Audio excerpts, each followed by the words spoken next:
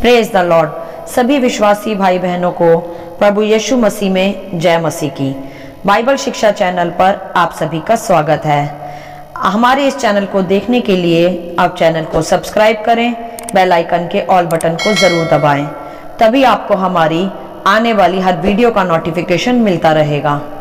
आज मैं आपके लिए बाइबल की पुस्तक से दूसरा राजाओं अध्याय पाँच का पंद्रह से सत्ताईस वचन लेकर आई हूँ। एलिशा और गहजी का जीवन। तो चलिए भाइयों बहनों, हम वीडियो स्टार्ट करते हैं। बाइबल दर्शाती है कि जब नामान कोड़ी एलिशा नबी के पास आया अपने कोड़ के इलाज के लिए तो एलिशा के बताए जाने पर उसने यर्दन नदी में सात बार डुबकियाँ मारी तथा फिर उसका पूरा कोड चला गया। इस विषय पर ऑलरेडी चैनल पर एक वीडियो अपलोडेड है, जिसका लिंक डिस्क्रिप्शन बॉक्स में दे दिया गया है। उसे विस्तार से समझने के लिए आप उसे वहाँ से देख सकते हैं। आज हम उसके आगे के अध्याय को यहाँ समझेंगे। जब नामान का कोड पूरी तरह ठीक हो गया, तब वह एलिशा के पास उसका धन्यवाद करने पहुँचा और कहने लगा कि सुन, अब मैंने जान लिया है कि समस्त पृथ्वी पर इज़राइल को छोड़ और कहीं परमेश्वर नहीं है। इसीलिए अब अपने दास की भेंट ग्रहण कर।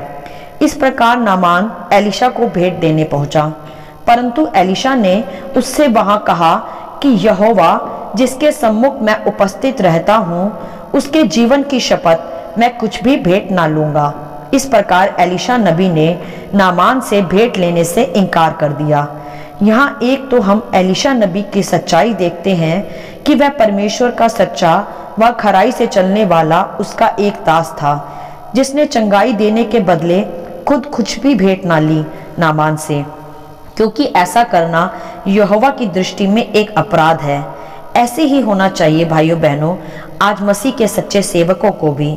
जब हम किसी के लिए चंगाई की प्रार्थना करें या चर्च के अगुवे किसी को चंगा करें तो उन्हें उसके बदले कोई भेंट नहीं लेनी चाहिए। क्योंकि परमेश्वर ने हमें मुफ़्त में यह वरदान दिए हैं तो हमें भी मुफ़्त में ही परमेश्वर के राज्य में बोना चाहिए। दूसरों की इन वरदानों से सेवा करके। तो हमें यहाँ एलिशा नबी के चरित्र से सीखना चाहिए कि हमें भी कैसे परमेश्वर का सच्चा सेवक बनना है। बिना किसी लालच को अपने हृदय में रखने वाला हमें होना चाहिए। दूसरी तरफ़ हम देखते हैं एलिशा के ही साथ रहने वाले उसके सेवक गेहजी को, जो एलिशा की सेवाकाई में उसके साथ साथ रहता था, तथा यहोवा को भली बाती जानता भी था। परंतु उसका चरित्र कैसा था, आगे हम देखेंगे। जब नामान एलिशा से विदा लेकर उसके पास से चला गया, तब गेहजी सोचने लगा कि मेरे स्वामी ने तो उस नामान से कोई भेंट नहीं ली, परंतु मैं उसके पीछे जाकर उससे भेंट अवश्य लूँगा। तब गेहजी नामान के पीछे दौड़ा। तब जब नामान ने गेहजी को उसके पीछे दौड़कर आते हुए देखा तो नामान वहाँ रुका और रथ से उतरकर उससे पूछने लगा कि क्या हुआ? सब कुशल तो है। तुम क्यों ऐसे दौड़े चले आते हो? तब गेहजी ने इस पर नामान को उत्तर दिया कि हाँ सब कुशल तो है, परंतु मेरे स्वामी ने यह कहने को भेजा है कि अप्रेम की पहाड़ी देश से भविष्य वक्ताओं के चेलों में से दो जवान मेरे यहाँ अभी आए हैं। इसीलिए उनके लिए एक की कार चांदी और दो जोड़े वस्त्र दे। इस प्रकार गहजी ने अपने स्वामी एलिशा का झूठा नाम लगाकर नामान से भेंट की मांग की। तब नामान ने भी खुशी से गेहजी को एक किक्कार की बजाय दो किक्कार चांदी और दो जोड़े वस्त्र दे दिए। अर्थात नामान ने गेहजी की मांग से भी ज़्यादा उसे भेंट के रूप में दिया, क्योंकि वो तो पहले से ही एलिशा को भेंट देना चाहता था। इसीलिए उसने खुशी खुशी गहजी को भी भेंट दे दी। तब गेहजी ने वो सारी भेंट लेकर अपने घर के भीतर जाकर छुपा दी। तब गेहजी भीतर जाकर अपने स्वामी एलिशा के सामने खड़ा हुआ। तब एलिशा ने उससे पूछा कि, हे गेजी तू कहाँ से आता है?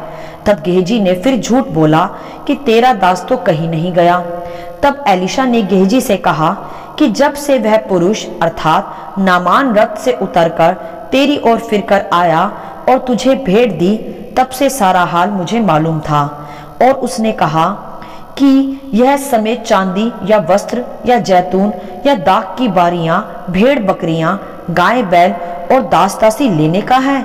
इस प्रकार एलिशा नबी ने अपने सेवक गेजी को फटकार लगाई और वह परमेश्वर की सच्ची उपासना करने वाला प्रभु का सच्चा दास था। इसीलिए उस पर यहोवा ने गेहजी के निमित्त सच्चाई को ज़ाहिर भी कर दिया कि गेहजी के मन में क्या चल रहा है।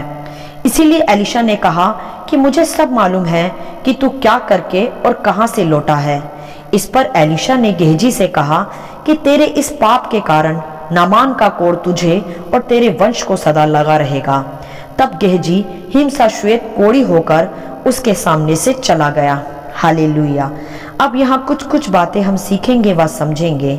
एक तो एलिशा के विषय कि वह यहोवा का सच्चा दास था जिसने नामान को उसके कोर से शुद्ध भी किया तथा उसके बदले नामान के ऑफ़र करने के बावजूद भी उससे कोई भेंट ना ली, क्योंकि वह भली प्रकार जानता था कि ऐसा करना पाप है तथा इस कारण उस पर से परमेश्वर का अनुग्रह भी समाप्त हो जाएगा तथा वह शापित ठहरेगा।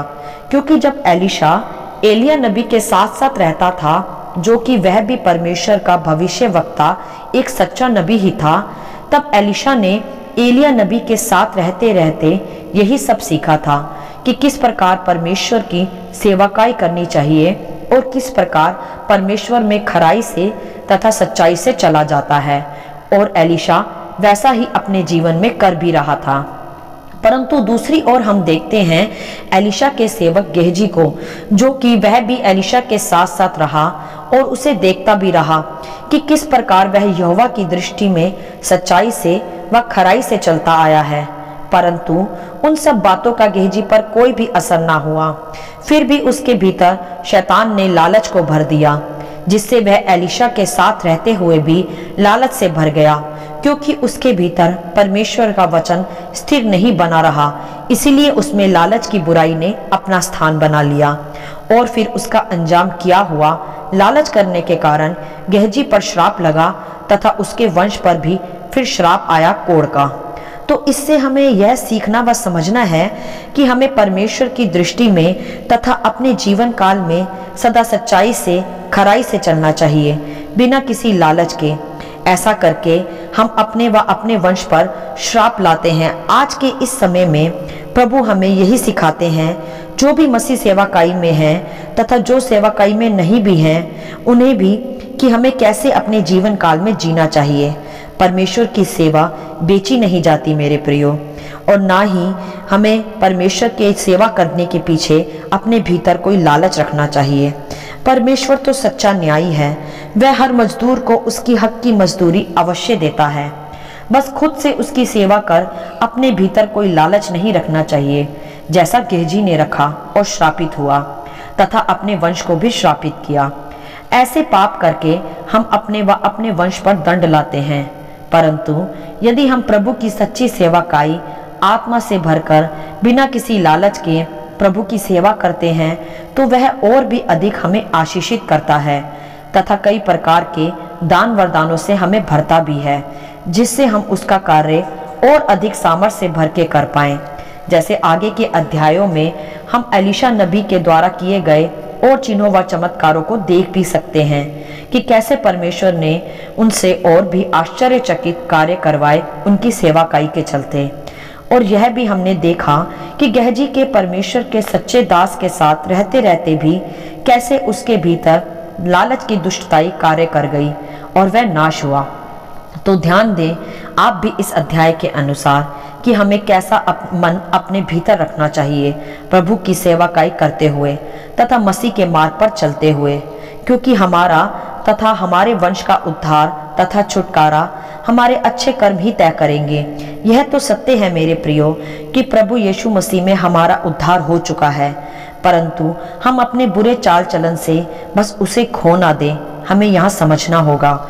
क्योंकि गहजी भी एलिशा के साथ रहा, यहोवा को जानते हुए, परंतु उसने अपना आशीष अपने एक बुरे झूठ व चाल से और लालच से खो दिया और एलिशा ने सच्चाई व खराई से चलते हुए दुगुना प्राप्त किया। तो हमें भी मेरे प्रियो, दुगना ही प्राप्त करना है। ना कि जो पाया है, उसे भी खो देना है। केवल एक पाप को, लालच को अपने भीतर स्थान देकर।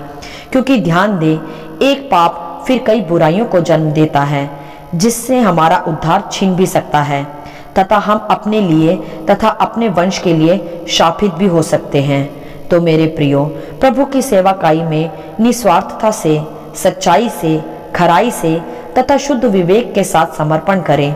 बिना किसी लालच के, प्रभु आप ही आपकी सब जरूरतों को समय पर पूरा करता रहेगा, तथा आपको और भी सामर्थ्य के साथ चमत्कारी वरदानों के साथ आशीषित भी करेगा, जिससे आप उसके राज्य में फलवंत बने रहें। आज की कलिसियाओं में हमें एलिशा तथा एलिया नबी की तरह ही सेवाकाई करनी चाहिए, ना कि कलिसिया जाते हुए, परमेश्वर के दासों के साथ रहते हुए, गेहजी बनना चाहिए।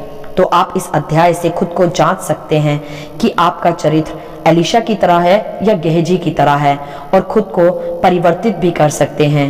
मेरे प्रियो, हमें एलिशा की तरह ही प्रेम और निस्वार्थ का चाल चलन रखना चाहिए। गहजी की तरह लालच और दुष्टताई का नहीं, क्योंकि ऐसा करके हम अपने व अपने पूरे वंश पर दंड लाते हैं, जिससे आज हमें बचना आवश्यक है। प्रभु आज हमें यही सिखाते हैं। आज की कलिसाओं में हमें पूरी आत्मा और सच्चाई से प्रभु की सेवा करनी चाहिए। यह समय किसी लालच या बुराई का या पाप से बटोरने का नहीं है। वरन निस्वार्थ परमेश्वर से पाकर उसके दान और वरदानों के साथ परमेश्वर के ही राज्य में उत्तम सेवाकाई करने का है। तो आशा करती हूँ आप ऐसा ही कर रहे होंगे। हाले इन संक्षिप्त, इन वचनों के संक्षिप्त विवरण आप सभी को समझ में आया होगा। परमेश्वर आपको अपनी पवित्र आत्मा की भरपूरी से सदा भरता रहे। यदि आप चाहते हैं कि दूसरे भी इन्हें सुनकर आशीष पाएँ तो आप दूसरों के साथ भी इसे बांट सकते हैं, क्योंकि हमारे प्रभु यीशु मसीह की यही इच्छा है। आमीन। And God bless you all